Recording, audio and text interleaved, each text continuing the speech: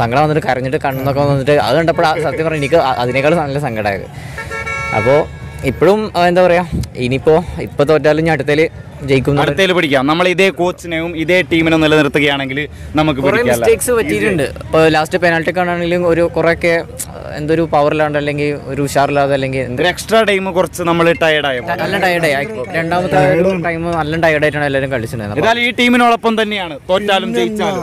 ഈ ടീം കഴിഞ്ഞിട്ട് വേറൊരു ടീമുള്ളൂ ഇത്രയും കാലം കളിച്ചതിൽ ഏറ്റവും ബെസ്റ്റ് ടീം എന്ന് ഇതേ പറയാൻ പറ്റത്തില്ല. കാരണം കേരള ബ്ലാസ്റ്റേഴ്സ്. ആരാധകർക്ക് ഇത്രയും പ്രതീക്ഷ കൊടുത്ത വേറൊരു ടീം ഇന്നേറെ ഉണ്ടായിട്ടില്ല നമുക്ക്. ഇല്ല നിങ്ങൾ ഗാലറി ഉണ്ടോ ഒരു സെക്ഷൻ മാത്രമേ ഹൈദരാബാദേ ഉള്ളൂ.